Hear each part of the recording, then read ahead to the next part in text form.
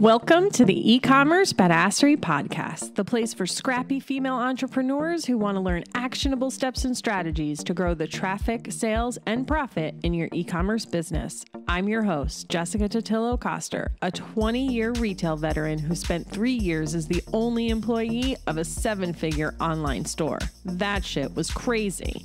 I know exactly how it feels to do all the things, and I'm sharing everything I learned the hard way so you don't have to.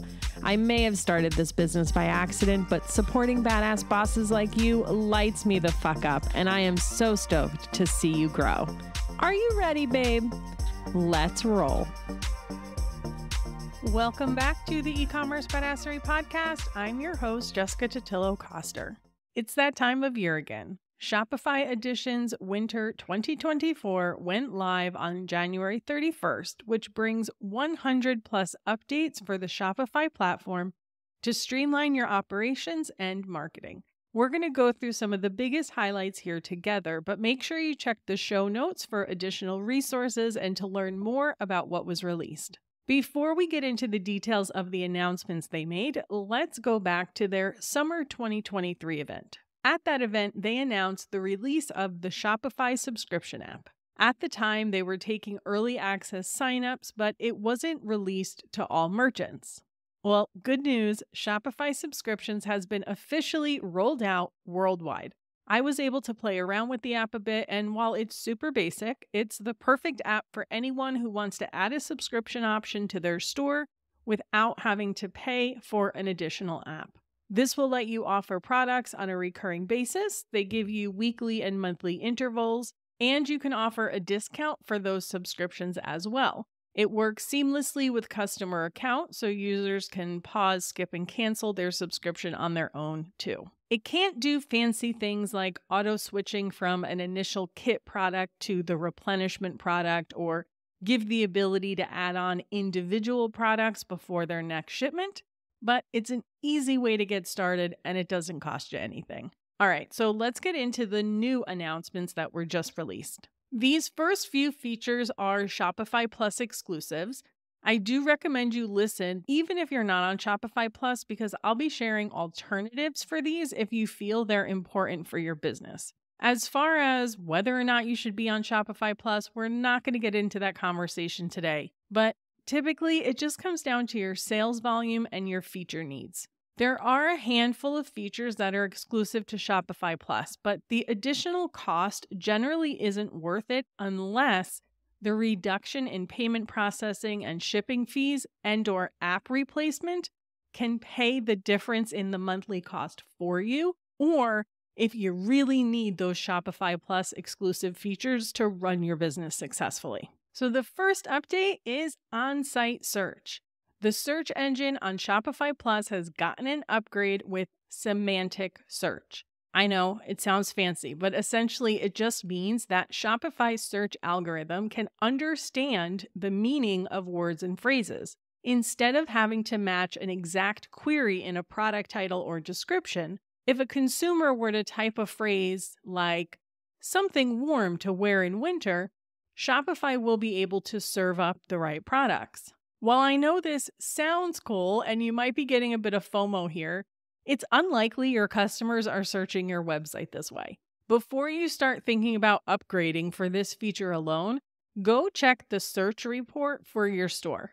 If you do happen to see a lot of on site searches with natural language and you think you might be missing out, there are third party apps that can do this for you that will be cheaper than upgrading to Shopify Plus. The next big update, which is also Shopify Plus exclusive, is combined product listings. These allow you to create each one of your product variants as an individual item in Shopify with its own unique URL, images, page content, etc. And then you use the app to combine it with the other variants to present it as one listing. So on the front end of your website, it's going to look the same. The consumer is going to go to the product page. They're going to have swatches of all the different colors that it comes in. They're going to click on the swatch and it's going to take them to the new product page, which lives on a different URL because it's technically a different product. Now, this is super helpful when you want to have multiple images for each variant because it reduces clutter on the product page.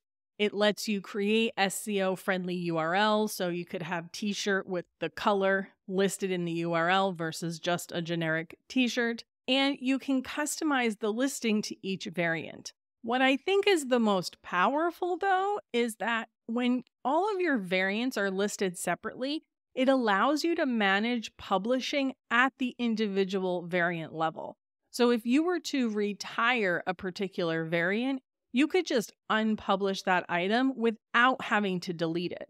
Whereas when it's listed as a traditional variant, if you don't want that to show forever as sold out on your product page, you would have to delete that variant to be able to remove it. This could also come in handy if you're pushing your product listings to other platforms and maybe you only want certain colors to get pushed over to Amazon or Etsy or wherever you're sending your product because it is controlled at the product level. If this feature is giving you FOMO, good news, you don't actually need Shopify Plus to do this. While they're making it a lot easier and more seamless to accomplish with their combined listings app, you can do this on non Shopify Plus stores with something called siblings. The general process is the same. You create all of your variants as individual items, and then the sibling product presents it as one product to the customer on the front end. The main difference is that instead of using an app, you're using metafields and or collections to tell the theme which products should be combined as siblings.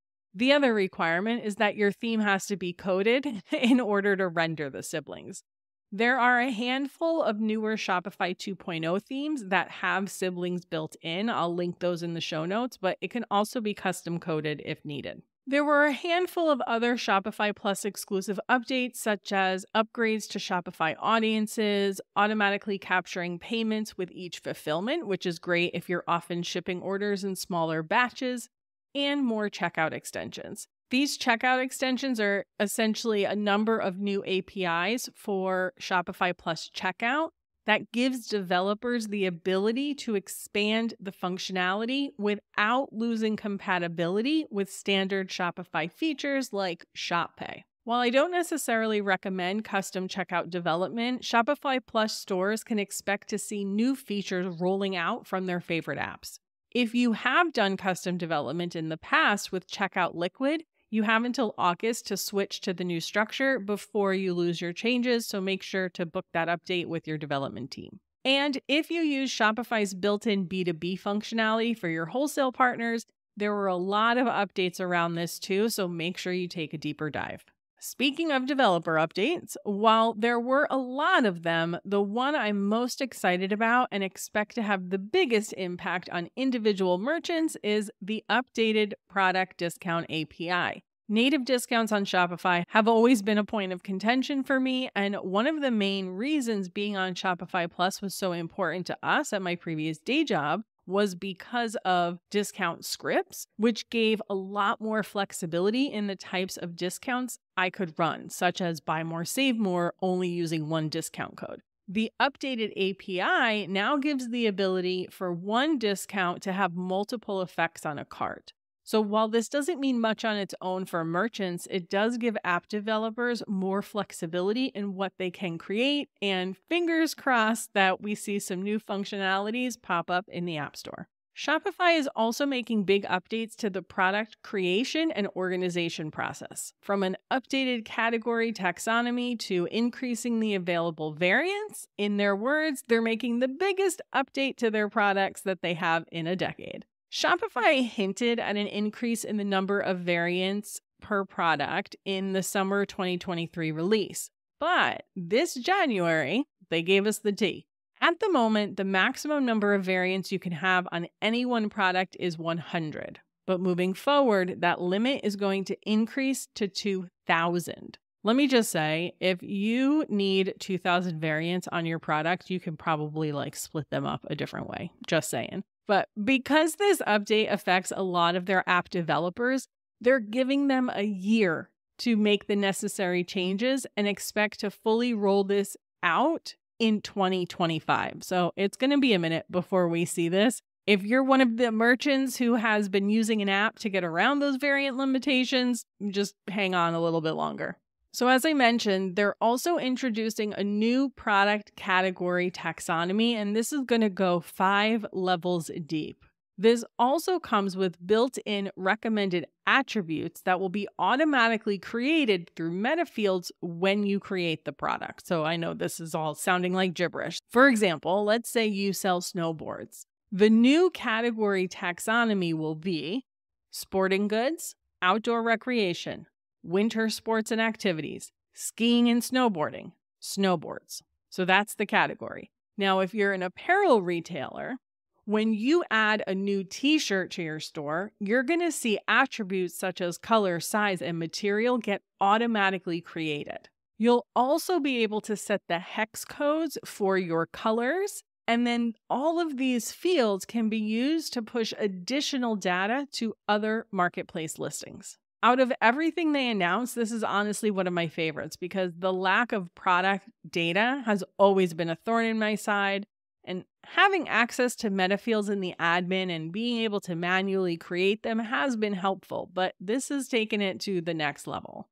I know this one's a little bit harder to wrap your head around without a visual, so make sure you check the show notes for a link to a video walkthrough and it should bring it all together for you. At the time of this recording, these features are in early access, and if we consider it took them seven months to fully roll out Shopify subscriptions, it might be a while before we see this come to fruition, but it's exciting to see that it's coming soon. There were a couple of other merchandising updates, but I'm not super clear on the timeline for when they'll roll out. It was somewhat implied that it will be part of the Shopify Products 2.0 upgrade, but don't quote me on that. You might see them sooner.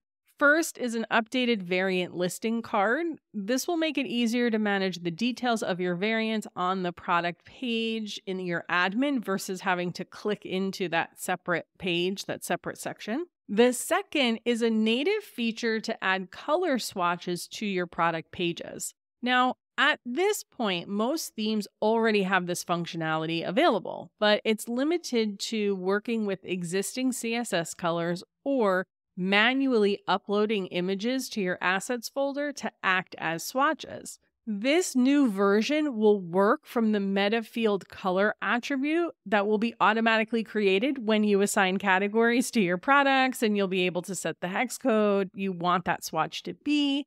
So it's going to be a huge time saver moving forward. It will require some updates in how your product information is entered on the back end. And it's going to be a minute before you see this in action. So, not only do you need Shopify 2.0 to be released and to update all of your information, but if you're using a non Shopify developed theme, you need that theme developer to release a new version of their theme with the necessary code. Again, they didn't give us a definitive timeline on this, but if this could be a time saver for you and it's important for your business, you may just want to pencil in some time at the beginning of next year to plan for a theme upgrade and potentially updating your product data. Sure, it may be released sooner than that, but you know, at some point you're going to get too close to Q4, and I would not go through the trouble of doing all of this for something as simple as updated product swatches. Another exciting update, sort of related to products, is Shopify gift cards. Customers will now have the option to add a recipient, a custom greeting, and be able to schedule their gift cards to be sent at a later date. This is independent of your theme and should already be available on your store. There's a checkbox on the gift card product page that says, I want to send this as a gift, when the customer clicks that, it will open up the additional fields for them to fill out. There have also been several updates to Shopify developed apps, which is really nice to see because their own native apps are typically pretty bare bones. And while I don't ever expect them to be as robust as some of the paid apps available in the App Store, they would piss off a lot of their development partners. They have made some pretty cool updates. So, first is Shopify Markets. This is an app that allows you to start cross border selling all from one store. I'm not going to go into all the details of the app itself today. It's been around for a while. Check the show notes for links to learn more. But what I'm super excited about is the full rollout of Shopify Markets Pro. While Shopify Markets is a great tool, it still leaves a lot of the heavy lifting on you as the merchant to manage taxes and duties. This can get super complicated and for many merchants, not worth the hassle.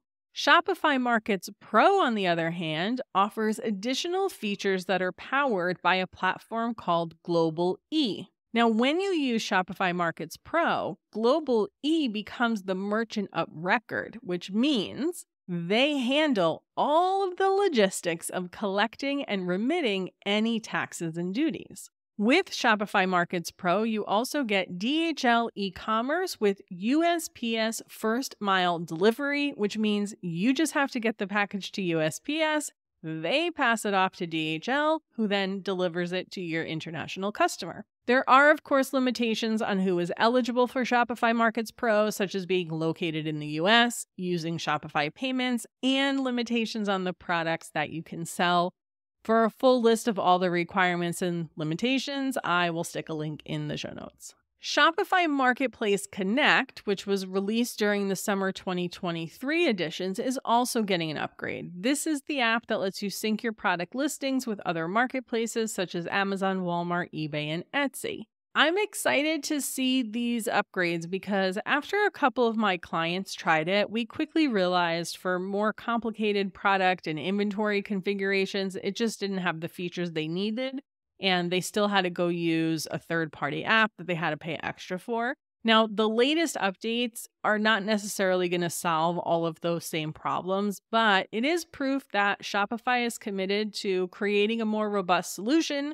So I'm hopeful it will fit the bill for more merchants. The two releases they announced were auto populated fields for Amazon apparel listings. That seems so specific, doesn't it? And the ability to select different regional inventory locations. As mentioned, it's not exactly an overhaul, but hey, it's a step in the right direction. Shopify Collective was also announced at the Summer 23 editions, and this is the app that lets you connect to other Shopify stores for dropshipping. Unlike most apps, this is not one that you can install from the App Store and start selling on or pulling products from. There is a waitlist slash application process to be able to use it. I appreciate that Shopify is vetting merchants before they can become a supplier on the app, since the retailers, anyone who is buying products from these suppliers, right, we have to rely on them to create a great customer experience. But I do wish it was easier to start using as a retailer.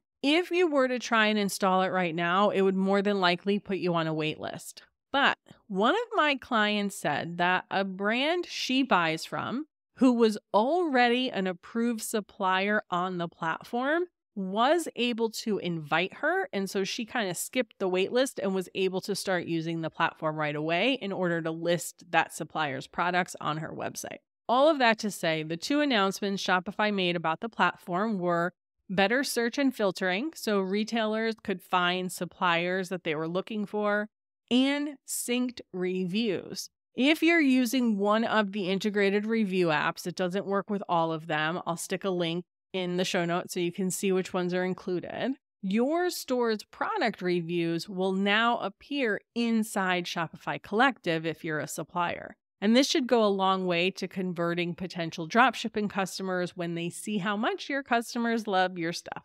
Speaking of synced reviews, these will also sync to the Shop app as well. I haven't looked at the latest statistics, but the Shop app has a lot of friggin' users. It's essentially become another marketplace to get your products in front of your perfect customers. And you can be sure Shopify will continue to invest in the growth of the Shop app because they're even rolling out new ways to advertise on the app.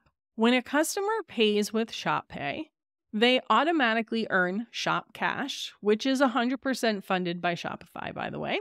As a merchant, you get to target customers who have available Shop Cash. I love that the focus is on customers who have earned Shop Cash because it means you're able to target customers who are likely to make a purchase versus just looky loos who love to browse. Shop minis are another way you can market your business on the Shop app. I think they did initially announce this over the summer as well, but it looks like there are more apps now available for you. So these are apps created specifically for the Shop app that let you do things like create shoppable videos and even create a product recommendations quiz. And Shopify is also upgrading the Shop Pay product. In addition to showing installment payments right on the product page to make it easier for customers, they are also rolling out Shop Pay to non Shopify stores. This is a really exciting development because it means more trust and recognition with online consumers. It's about to be at Klarna and Afterpay status, which should even trickle back to the Shop app and Shop Cash.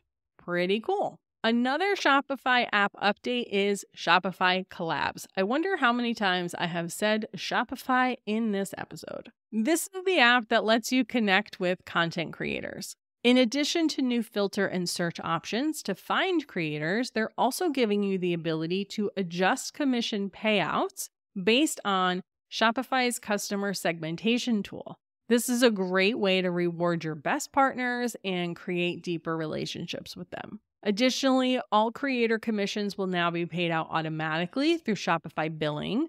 They announced this through email a while ago, so I'm not sure if they're just reiterating it or if this is like the official rollout, it's happening now. Either way, if you're using collabs, I would pay close attention to how they adjust your funds, as it could create a bit more bookkeeping complexity. If you've hired that out, you probably don't have to worry about it, but if you're doing it on your own, it's just something to be aware of. For my own affiliate payouts, like I have those set to pull directly from my bank account versus deducting from my PayPal balance because it's just easier for me to track. But I don't really have any insight into how Shopify is going to process those transactions, so just keep your eyes out. There were a couple of other Shopify specific app updates. Shopify Flow has a new run code action. You are probably not going to use that a ton yourself, but it will come in handy for developers. And there's also a failed workflow notification, so you can get an email if something isn't working as expected. Shopify Magic, their AI tool, now offers in Shopify image editing, things like removing and adding backgrounds. And there's a bunch of other little updates. Don't forget to check the show notes for links. So, not a Shopify app, but another exciting announcement is the official release of the Faire Wholesale app. This has technically been available for a while, but you had to ask Faire directly to get access. It seems like it was quietly released in the App Store a few months ago because I saw reviews in there, but it was fully launched and announced at the Shopify Editions event. If you're selling on Faire, Having the app means you can sync your products and fulfill Faire orders right from your Shopify admin. I personally haven't used it, so I don't know what the interface is like, but my hope is that you can use meta fields to sync over custom info versus just your existing customer facing descriptions. I also saw a review in the App Store that said on the initial sync, it duplicated her products. Now, again, I don't know what the process looks like. This very well could have been user error. Just make sure, take time, like do a little research and confirm the right way to connect it.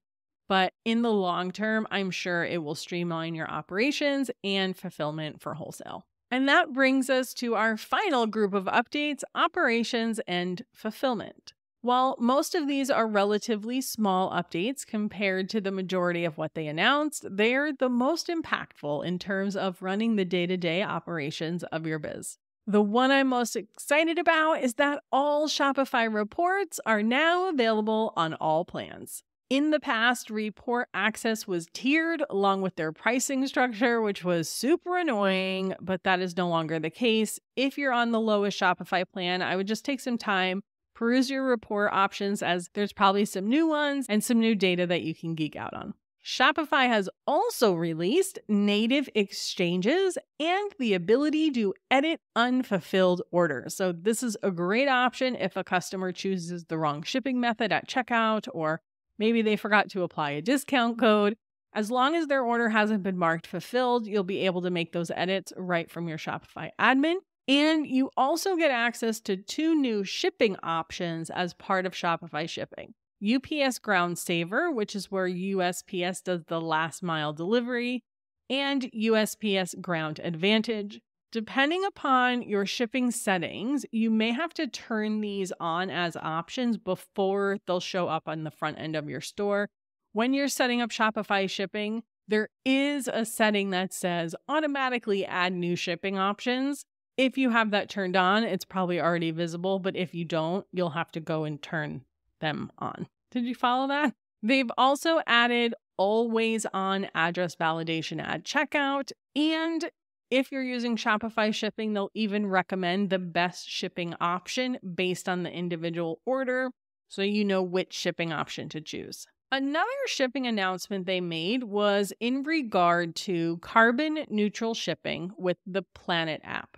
Using the Planet app essentially just collects a small fee for each transaction, which funds CO2 removal operations to create carbon neutral shipping. If I'm understanding the update properly, the app now gives you the option to collect directly from the customer as well, ultimately sending more funding to Shopify CO2 removal partners.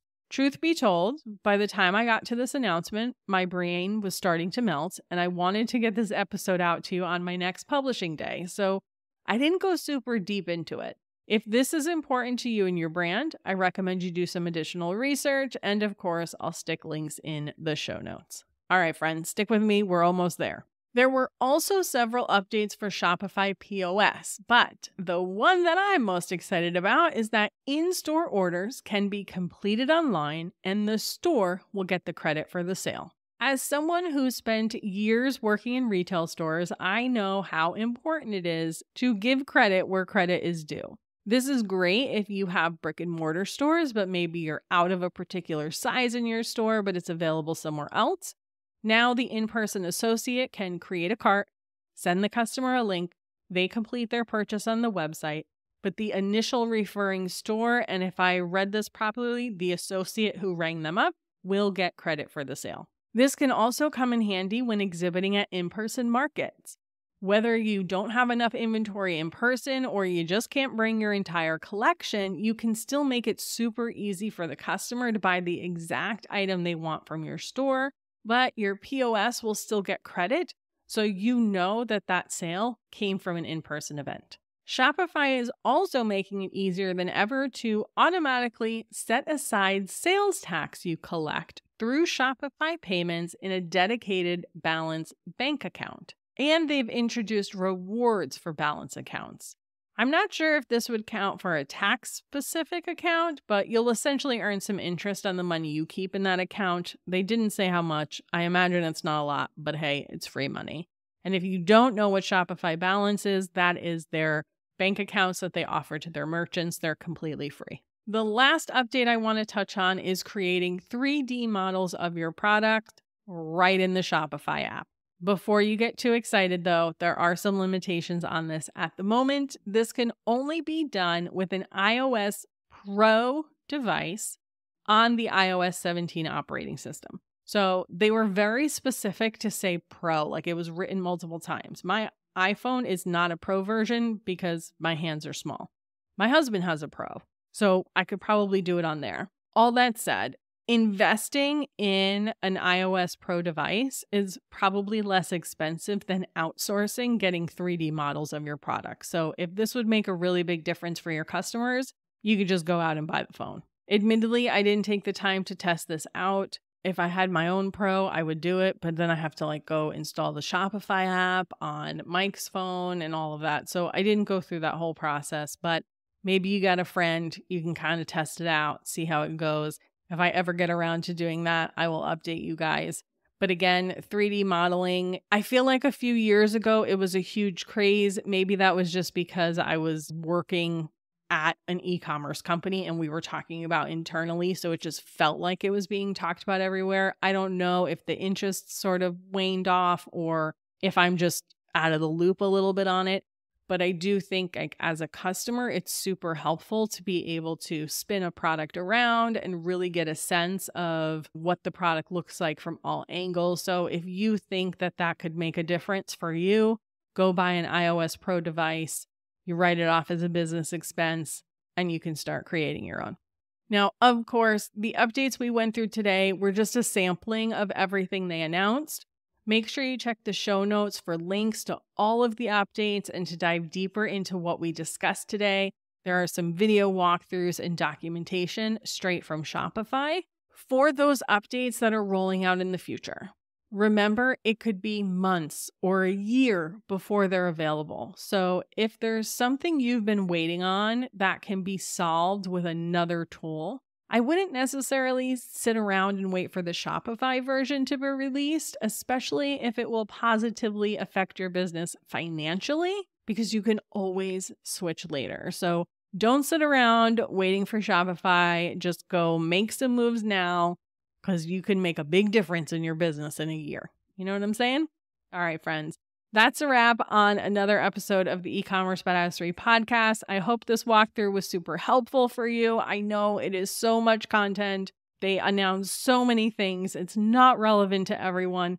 It's overwhelming for me to go through it all, so I'm sure it's overwhelming for you. Again, hope this was helpful. Thanks so much for hanging out with me today, and I'll see you on the flip side, friend. Thank you for listening to today's episode. If you're ready to get the support you deserve and step into your badassery as the CEO of your e commerce business, then I'd love to support you. Start with the free resource library at ecommercebadassery.com forward slash free stuff and get an invite to the lounge, my e commerce marketing membership. You'll learn how to cut your to do list and supercharge your success with ads that don't cost a fortune. If you're ready for more high touch support, apply to work with me one on one at ecommercebadassery.com forward slash apply. Before you go, would you do me a quick favor? Leave a rating and review wherever you're listening to this podcast so other e commerce business owners know this is the place to be. And tap that follow button. Following the show means you'll never miss an episode, and it's what pushes me up the charts to get in front of more scrappy entrepreneurs just like you. I'm on a mission to support as many small business owners as possible, and I could really use your help. Thanks again for listening. Until next time, e commerce friend, stay badass.